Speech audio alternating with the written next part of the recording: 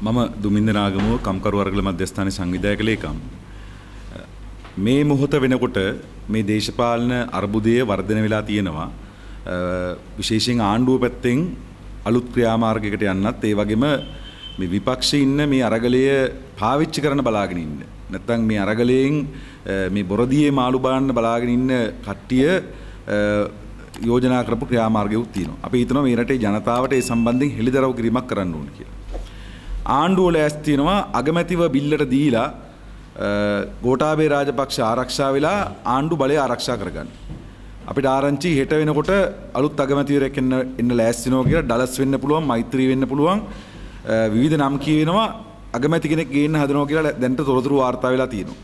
අපි පැහැදිලිවම ඒගොල්ලොන්ට කියනවා මෙතන අරගලේ සටන් පාටේ තියෙන ගෝඨාභය රාජපක්ෂ ඉවත් වී යුතුයි කියලා. එනිසා ගෝඨාභය රාජපක්ෂ ආරක්ෂා කරගෙන ජනාධිපතිකම ආරක්ෂා කරගෙන විධායක ජනාධිපති ක්‍රමය ආරක්ෂා කරගෙන එන විසඳුමකට කිසිම ආකාරයකින් මේ අරගලය තුල ඇත්තට ඉන්න බලවේග එකඟ වෙන්නේ නැහැ.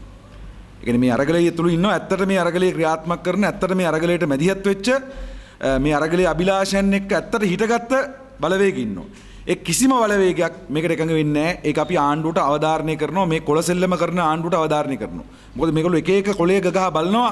ඒකෙන් පස්සට යයිද කියලා. දැන් අලුතෙන්ම හෙට ගහන්න ඉන්න කොළේ තමයි අගමැති ඉල්ලා අස්වීමේ කොළේ.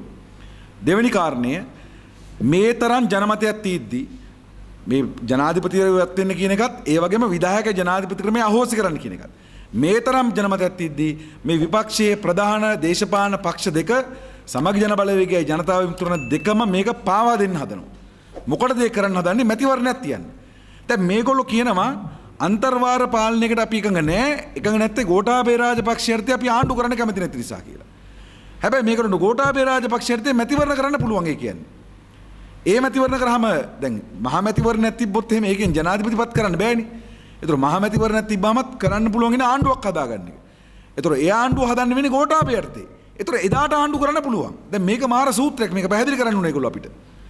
මැතිවරණයක් ඉල්ලා හිටින අය මේ සූත්‍රය පැහැදිලි කරන්න ඕනේ. දැන් බැරි වෙන එක එදාට පුළුවන් වෙන ඒ සමීකරණය මොකක්ද කියලා. ඒ නිසා අපි කියනවා ඒ තක්කඩි වැඩේට ලෑස්ති වෙන්න එපා. බොරදියේ මාළු බාන ලෑස්ති වෙන්න එපා. මෙතන මහා මැතිවරණයක් ඕනේ වෙයි. දේශපාලන ස්ථාවරභාවය ඕනේ වෙයි. ඒක ගැන කවුරුත් ප්‍රශ්නයක් නැහැ. දේශපාලන ස්ථාවරභාවය හදන්න ඒවෙන් පුළුවන් කියලා හිතනවා නම් ඒ ඒ හිතනකට අපේ විරෝධයකුත් නැහැ. හැබැයි ඉස්සෙල්ලා මේ ආපු මහජන නැගිටීමට සාධාරණ ඉෂ්ට කරගන්න ඉඩ දෙන්න. Tamanට බැරි නම් කරාරින්න. ඒක ප්‍රශ්නයක් නැහැ. මොකද කවුරුත් කරගහලා නෙමෙයි මේක මෙතෙන්ට ඇවිල්ලා තියෙන්නේ. මේ තරුණයෝ ආරම්භ කරපු සටනක් තියෙනවා.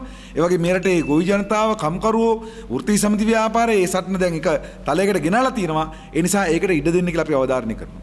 අපි ජනතාවගෙන් ඉල්ලනවා හයවෙනිදා හර්තාලයට සියලුම නගරවල කළුකොඩි දාන්න වීදි බයින්න උද්ඝෝෂණය කරන්න පාරේ උයන්න ජනතාවත් එක්ක ගත හැකි සියලුම විරෝධතා ක්‍රියාමාර්ග ගන්න එතනින් එහාට යන දැවැන්ත අරගලයකට ඔබ සූදානම් වෙන්න.